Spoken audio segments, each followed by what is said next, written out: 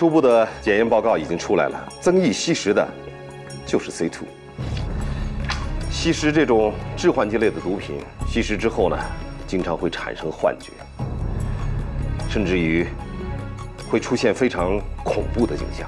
郑队，你是说曾毅在坠楼前大喊“鬼不要来抓我”，是因为他吸食毒品之后产生的幻觉，看到有鬼要来抓他？对，当时他想逃，慌不择路，跑到了阳台上，吸食了 C two 之后，人会产生一种幻觉，他可能觉得前面是平路，实际上并不是。所以，他从楼上跳了下去。我同意郑队的看法。整栋单元楼的用户我们都排查过了，没有任何可疑情况。曾毅被人推下楼的可能性几乎为零，所以他应该是吸毒后产生的幻觉导致他坠楼。是啊，郑队，哎，啃脸男您听说过吧？哦，我以前听说过，好像是美国的一个案例。一个男子吸了毒之后就会产生幻觉，去啃人家的脸，好像这种毒品也是致幻剂类的毒品。我在长河派出所的时候碰见过疑似啃脸男。哎，你脸上的牙印谁要的？哦，具体什么情况？只可惜当时按醉酒闹事处理了。郑队，我们要不要重新查一下？你这个信息太重要了，马上查。政府。那天我们真的是喝醉了，看清楚了，养人那小子的血检报告出来了，他不但吸毒，而且吸的是新型毒品，C two。还有什么话说吗？我交代，兄弟，这劲儿大。Yeah.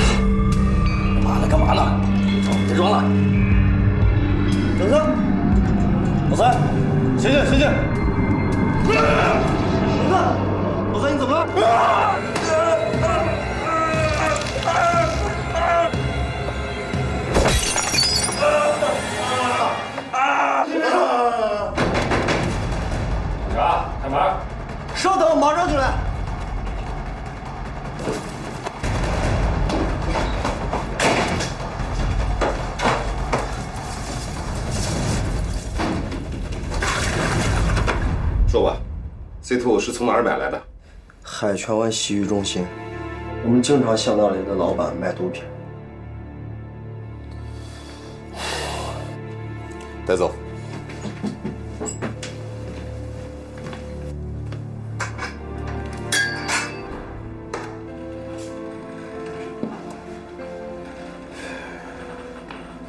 郑队，阿丽的手机数据恢复了，里面有重要线索。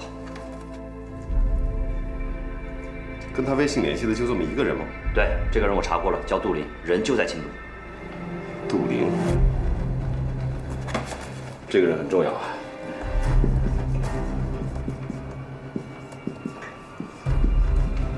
马上通知开会，锁定杜林的位置。四个月以前，杜林给阿丽发去了第一个短信，短信的内容是秀才已经答应撰写文章。两个月之后，他发去了第二个短信。第二个短信的内容是：文章出城，文采斐然。二十天前，他发去了第三个短信。第三条短信的内容是：文章装订完成，明日面呈。就在一个星期前，他发去了第四个短信。第四个短信的内容是：秀才已经答应修改文章。请大家注意，整个的短信内容里边有两个关键词，这两个关键词是一个秀才。还有一个文章，这个秀才应该代表一个人。那文章代表就是毒品了。嗯，那么秀才已答应撰写文章，就是有人答应杜林为他制造毒品。那第二条短信，文章出城，文采斐然呢？文章出城，这个出城应该是毒品试制成功。文采斐然，应该是毒品纯度很高。我明白了，文章装订完成，明日面呈，就是指毒品已经生产出来了，明天交货。那第四条，秀才已答应修改文章是什么意思？已经交货了，还要修改？修改什么呢？是啊，这个我也没想明白。卓颖、秦剑，你们俩分析的很棒。眼下最重要的是要把这个杜林牢牢的控制住，要从他的身上挖掘出更多的线索。郑队，我去把他拘了。一听到嫌疑犯就要去拘了，你这还是片警抓小偷的思维啊！不抓那跑了怎么办呀？全天二十四小时监控，他跑不了。钟颖说的对啊，先不能打草惊蛇。哎，白伟，你这边的情况怎么样了？已经锁定了杜林的手机，正在定位，很快就能找到。好，等一下啊。怎么在晋宁分局啊？难道他们把他给抓了？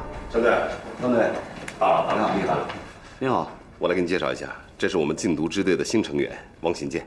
陈队好，你好，真年轻。哎，坐下说吧。来，坐坐坐，来，新建，你坐我边。好。陈队，跟我们说一下关于杜明的情况吧。这个杜林是一个香港居民，一年前来到秦都开了一家投资公司。前天的时候，他约了一个重要客户在他的公司里见面，结果到时候了，他却一直没出现。秘书给他打电话，他又不接，整整一天联系不上他，秘书就慌了。昨天到局里报的案，结果我们在他住所里就发现了他的尸体，死亡时间大概是前天早上。死因呢？尸检结果初步确定他的死因是心脏病突发猝死。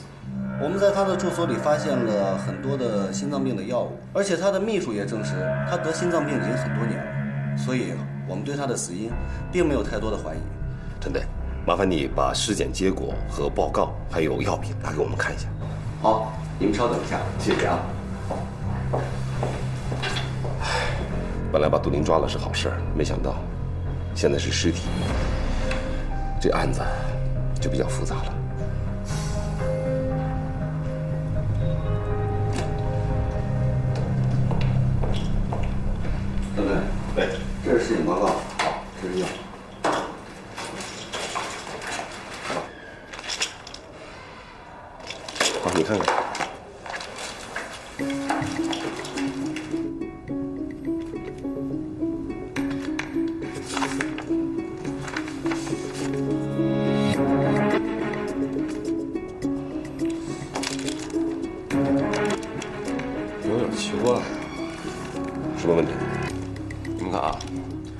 药品从生产线到药店，再到病人手里，得经过多少人的手？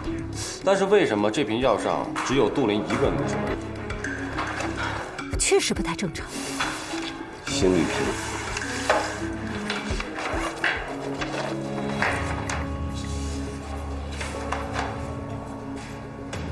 喂，小周啊，心率瓶这种药品你了解吗？很普通的处方药，治疗心律失常的。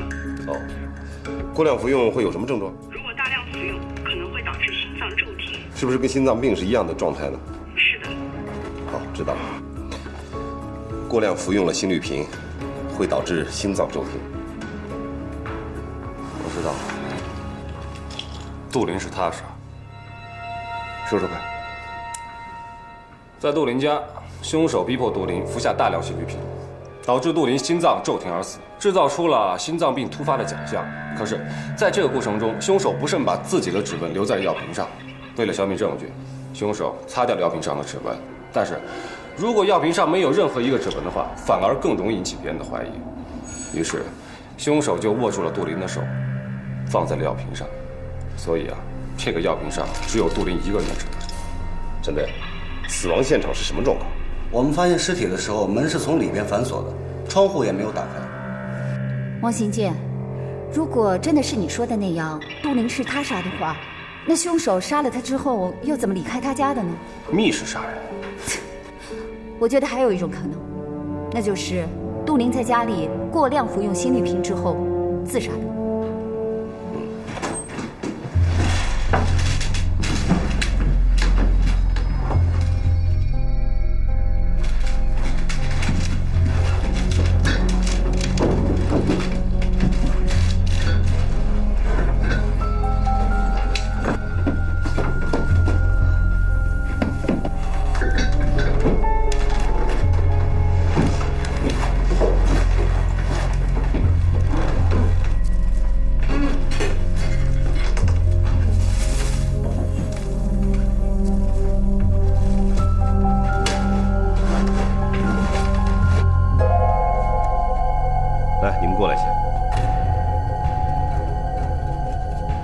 看到了吗？这张单子是前天的，也就是三天前。杜林怎么会去秦都大学里买东西呢？难道他的死和秦都大学有关？杜林进一步的尸检报告已经出来了，报告显示他的体内确实有大量的普罗帕酮，也就是心律平，而且他不是死于心脏病，而是非正常死亡。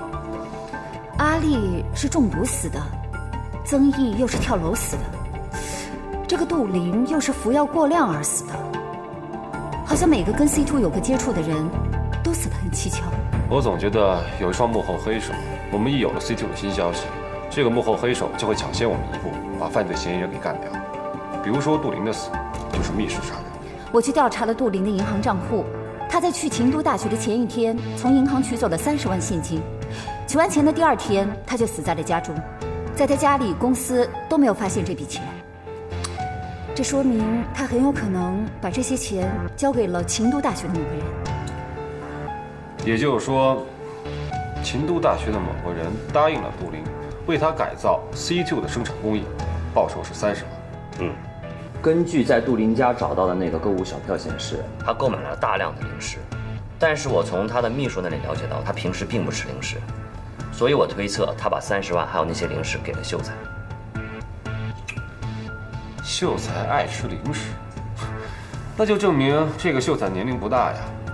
你们说会不会是秦都大学的某个学生啊？能够制造 C two 的人，至少都是应该是博士生。那就更简单了，我们把秦都大学的博士生查一遍就完了。秦都大学有药理学、生物学、物理、化学这么多的学科，要是一一排查，恐怕不太容易。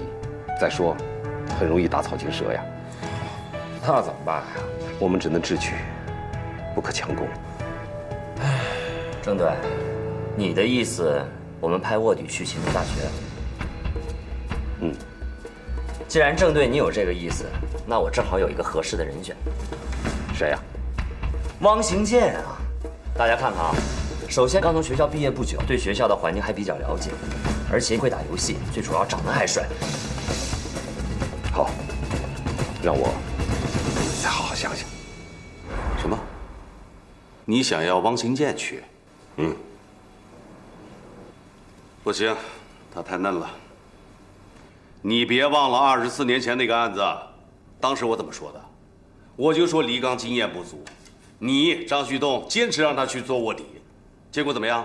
行动任务失败，黎刚到现在下落不明。提起这事儿我就生气。我告诉你啊，这一次的卧底任务人选你必须慎重、慎重再慎重。雷局，二十多年前的那桩案子，我一辈子都不会忘记的。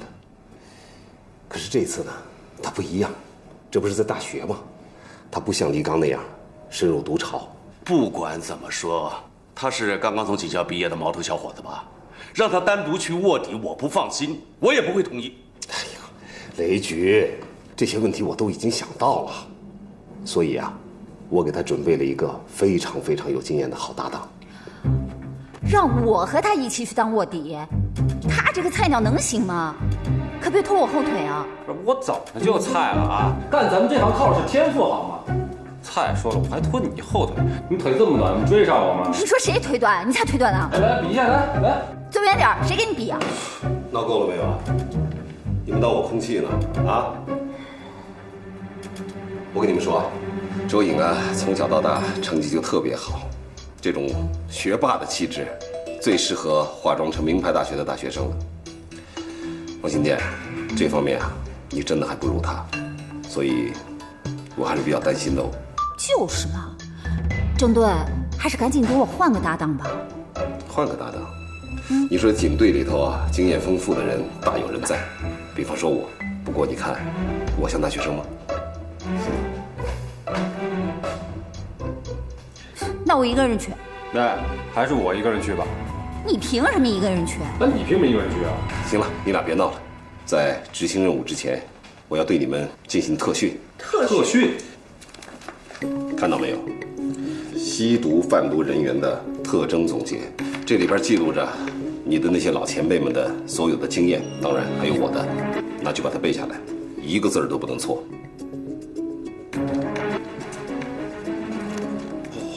这么多，都要背下来啊！还不止这些呢，喏，还有这个，这是一个移动硬盘，这里边装了一些视频资料，你要把这些视频资料和那些文字资料对比起来，认真学习，要好好的消化啊！程队，不怕我消化不良吗？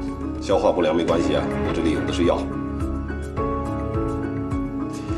我告诉你啊，是要考试的，如果考不过，我就得换人。郑队，这怎么就给我一个人呀？他怎么就没有啊？你随便问一条啊。怎么判定一个人长期吸毒？一个长期吸毒的人，食欲下降，甚至厌食，饭后呕吐，口干，喜欢喝水，皮肤瘙痒，睡眠不定时，不分白天黑夜，身体日渐消瘦，不喜欢与人交往，情绪不稳定，容易发脾气，刻意回避熟人家人，喜欢一个人待在房间里面，经常出入偏僻的地方，喜欢向人借钱，爱撒谎，有的甚至盗窃。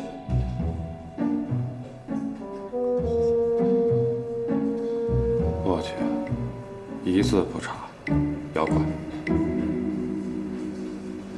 哦，怎么还不下班呀？都把我给看困了。看到你是这样的态度，我就放心了。不是什么意思呀？你这样的态度是肯定不能通过考核的，这样呢，你也没资格做我搭档了。搞得我好像很想做你搭档似的呀。哎，小王，嗯，收获怎么样？颇为丰富啊。那就好，走，你们俩跟我出去一趟。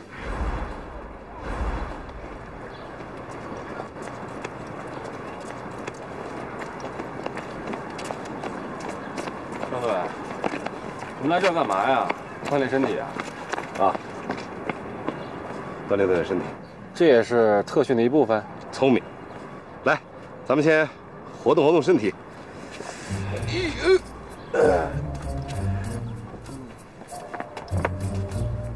张队，开始跑吧。不用跑了，啊？别动，看着我，马上告诉我，我们刚才进了公园以后遇到了几个人，什么特征？让我想想啊，有一个跑步的女孩，还有一个看书的姑娘。你就知道看女生，那你说，一共遇到几个人？一共四个人，还有一个中年大叔，大概在五十多岁左右。我记起来了，那个大叔在看报纸，还有一个跑步的男孩。怎么样？我也不比你差。他看的什么报纸啊？哎，健康人生，哎，还有，那个看书的女孩，大概多少岁？啊应该在二十岁左右。她上大二，你怎么知道？我听到她在读英语，读的课文是大二下学期的英语课文。for him outside. 还有啊，刚才那个跑步的男孩和女孩，他们是什么关系啊？他们俩一前一后隔那么远，应该没什么关系。情侣，情侣？你别逗了，他们俩要是情侣的话，那我们俩也能是？是什么呀？什么都不是。那个女孩手上戴着一个花梨木手串，这种手串本来戴的人就不多，更别说是同款的，所以他们应该是情侣。这也太牵强了。上次说的，查都行，你说了选。看到没有？我说什么来着？你们要学会实时观察周围的环境和人物，把观察到的信息迅速的在脑子里边分析整理。这是一个优秀的卧底必备的条件。周毅，你考试过关了。谢谢郑队。哎，郑队，这张仲颖的脑子又不是照相机，他怎么可能记得那么多呀？我明白了，你们俩串通好了，故意忽悠我。那帮人都是请的演员吧？王行健，我从拿到公安大学通知书的那一刻开始，我就练习这项技能了，已经整整七年了。建同学，你还差得远呢。还没上大学你就开始练了，您这也太未雨绸缪了吧？那我请问您一下呀，为什么呀？干嘛告诉你呀？好了，别贫嘴了，金姐，你要努力提升这个技能，像周毅一样，把它变成本能。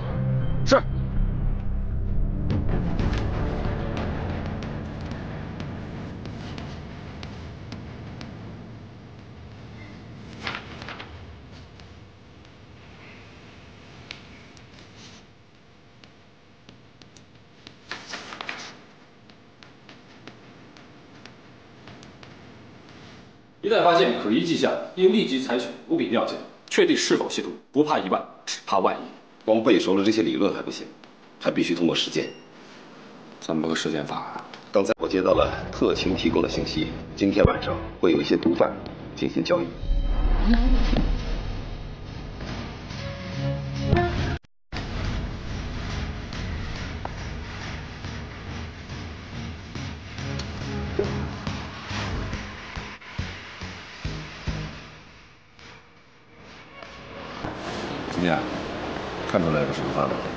这有点像监考老师的感觉。就是穿一身黑那小子，眼神飘忽，东张西望，神色紧张，跟资料里写的等待交易的小毒贩一模一样。对，你说的？嗯，挺像的。哎，不对，嗯，绝大部分毒贩都会吸毒的。但你看这个人，脸色红润，双眼有神，应该不是他。他干嘛鬼鬼祟祟的？你看，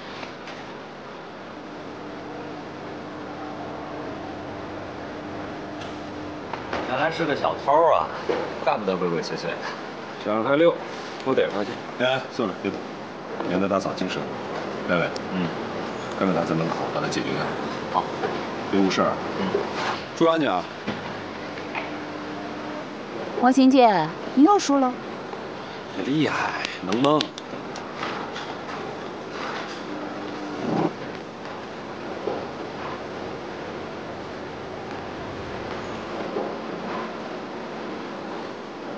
该是这两只。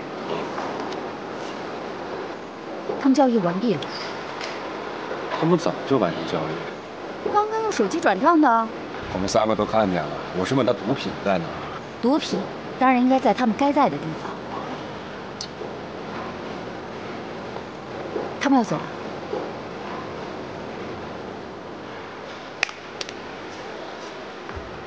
盯着那个人。好。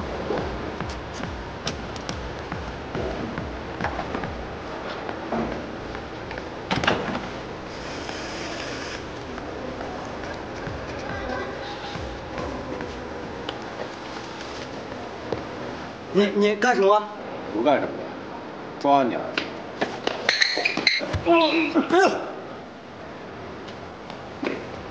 啊！绕绕！站住！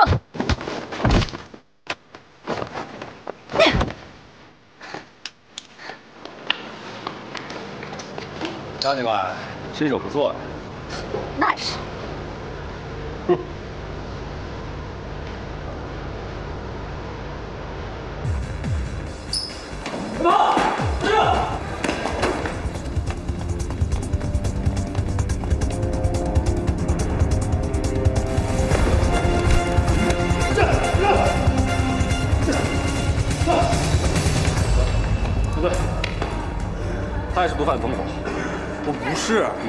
那你跑什么呀？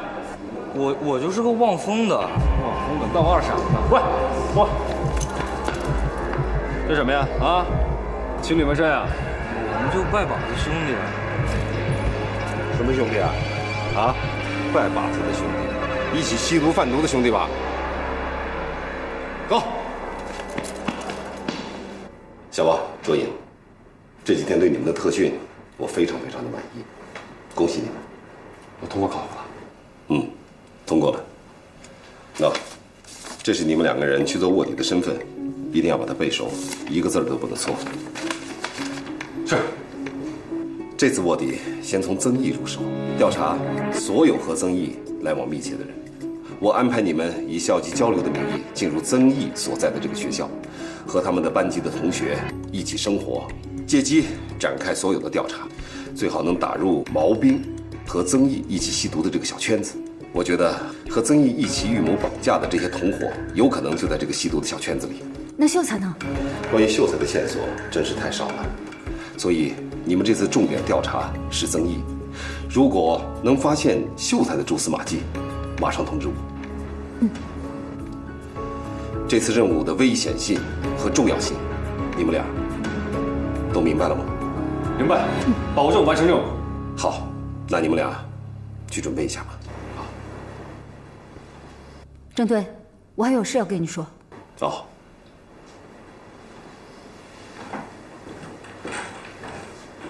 什么事？郑队，这几天汪行健表现确实很好，出乎了我的意料。但是我觉得他还是不适合做我的搭档。你为什么这么说？秀才是现在 C two 唯一的线索了，把这么重要的任务交给汪行健，会不会风险太大了？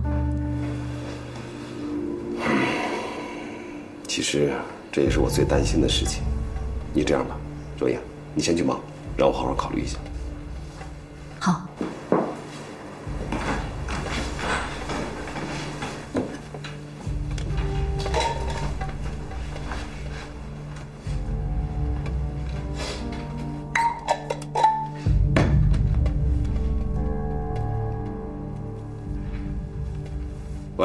旭东哥。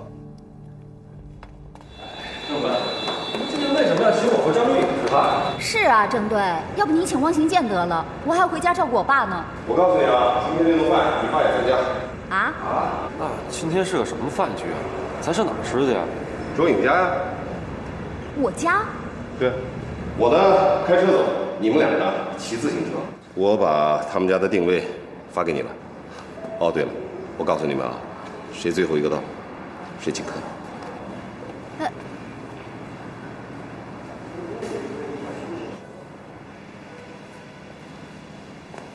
张卓颖，把你的钥匙借我看一下。干什么？借一下嘛。嗯。别怪我。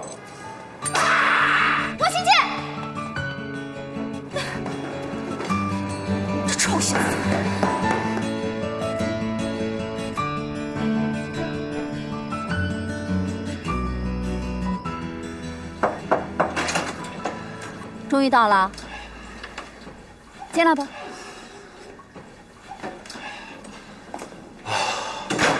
张队，嗯，五十三分钟，体能算不错，不过比卓颖还是差一点哦。那是他骑的车好，我跟他骑样的时候能输给他？哎，我说你是姓常，常有理他爹吗？小王，我给你介绍一下，那卓颖的父亲，我们缉毒队的老队长，我的老领导。叔叔好。你好，你爸原来是禁毒支队的老干部呀。嗯，你是小汪是吧？啊，呃，卓颖跟我介绍过你，是吗？准备好话吧？来来来，吃饭。好，来走走。吃饭喽！吃外卖啊，常卓颖。这可不是待客知道啊！我还想尝尝你手艺呢。你想得倒美！别忘了，今天你又输给我了。这顿饭你请，一会儿记得把钱给我。好了，这顿饭呀，吃快餐是我定的，因为咱们吃完饭之后啊，还有重要任务。来，吃饭。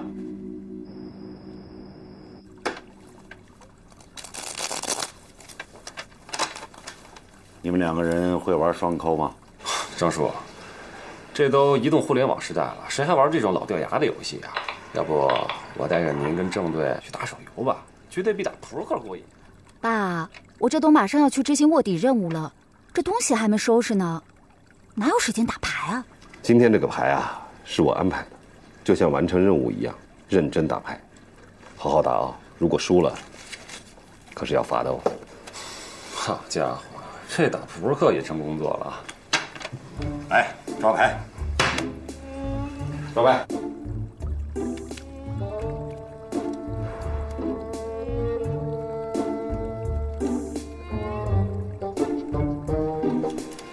对六，过，对十，不要，对枪，过。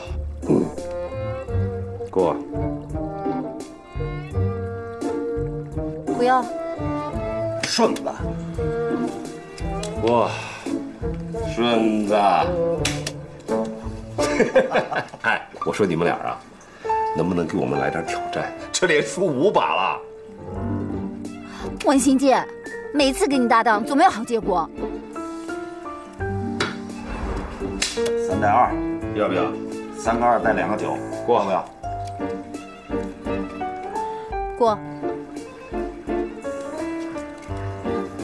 张叔，哎，你是要咬出顺子？你怎么知道？你还没看出来？他们俩有套暗号。这个呢是让搭档出顺子，这个呀是出对子。要不是他们俩出千，我们能输这么惨啊？拿个六饼，你不是号称观察力超强吗？这都看不出来？我从小到大又没有作过弊，根本没有往这方面想，好不好？我听你这话的意思是我经常作弊了？难道不是吗？哦，好了好了好了，你们俩知道我这次为什么安排你们打这张牌吗？实话告诉你们吧，这次安排你们去秦都大学做卧底，我最担心的是什么？你知道吗？如果说一对搭档之间没有默契和信任，怎么能够执行任务呢？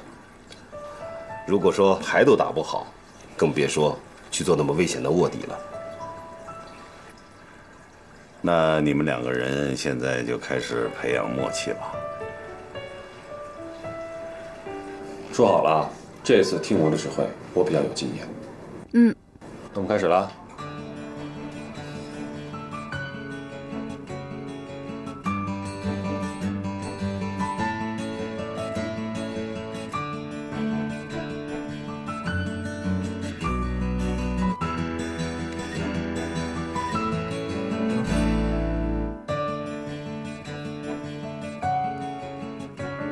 OK，好的。顺子，哎，张周野，这个这什么意思？这出对子的意思不是？你这么简单都记不住，这牌没法玩了。我当然记得住了，但是你让我打什么我就打什么吗？我算过了，这时候出顺子更好。周颖啊，这可是你不对了。搭档之间，人家王行健已经给你发出了这样的信号，你就必须得无条件的信任他。好吧。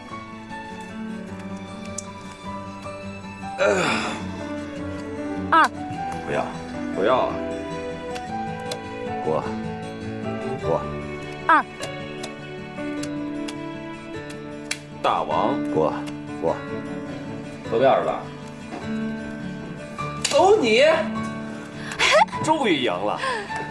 那两位老同志，该你们了吧？爸。好了好了好了好了好了，我们的目的啊已经达到了，希望你们这一对小搭档早一点啊，像我们这一对老搭档一样，啊，配合的 perfect。哎，有样东西，你们两个人看看。爸，这是你写的？这是我当缉毒警的时候，根据一些案子总结出来的一些经验，还借鉴了全国几十个大案，啊，也做了一些补充。你们拿去好好看看。嚯，这是缉毒宝典呀，这么多啊！这是我这打字拿一指禅打出来的，这可费了劲了。你们两个要想配合好了，一定要记住互相之间的暗号。搭档之间的暗号，这什么意思？马上抓捕罪犯。那今天就到这吧。那张叔、郑队，我走了，拜拜，快去吧，啊。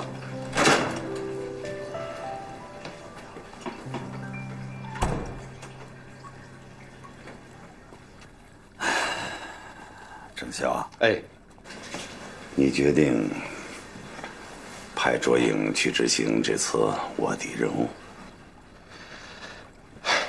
哥，我知道三年前卓颖来缉毒队的时候，我答应过你，我会保证她的安全的。咱们是生死战友，嗯，我相信你。不过一想起他的亲生父亲李刚，为了执行卧底任务，至今生死不明，我不免为卓颖有些担心呐。我理解。还有那个小王，我也很担心。为什么呀？这孩子很机灵，有冲劲儿，非常聪明，跟李刚很像。我担心他不要重蹈李刚的覆辙呀。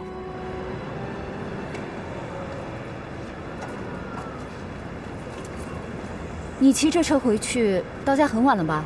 啊，有一个多小时呢。啊，那我走了啊。哎，等会儿，把我车骑回去吧。明天骑到禁毒支队，我把你这破车骑回去。居然主动帮我。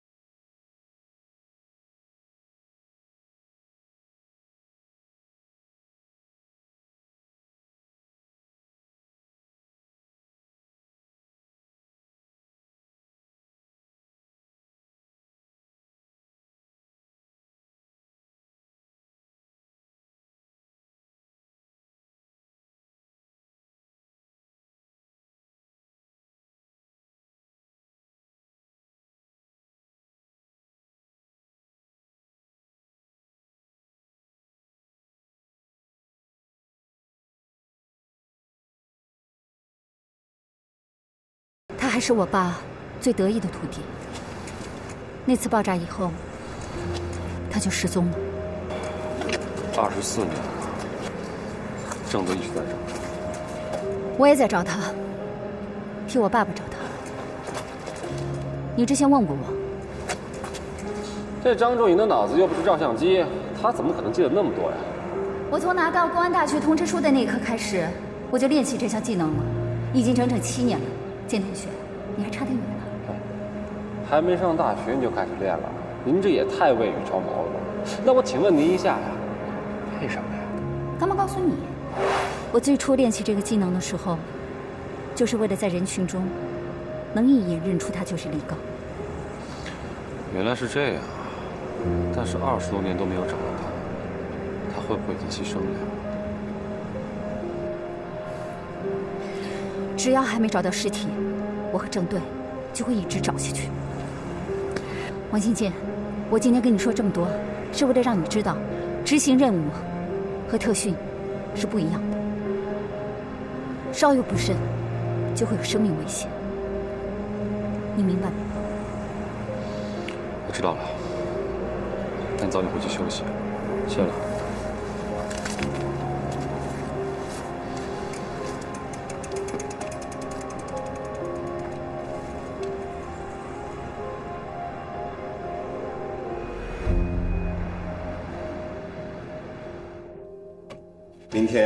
就要去秦都大学执行任务了，你们的身份信息都已经记熟了吗？嗯，我和张周也是同学，我们都是明州大学大三的学生。这次来秦都大学是为了参加短期的校际活动。我们都是宁州本地人，家境富裕，非常好。现在吸毒的年轻人里边，大部分比例都是来自富裕家庭，像毛兵、曾毅也都是如此。你们俩也必须扮成富家子弟，这样呢，就比较容易打入他们吸毒的小圈子。张队，嗯，可这事儿吧，光靠演技也不行啊，怎么着也得有个道具啊，比如银表、豪车什么的。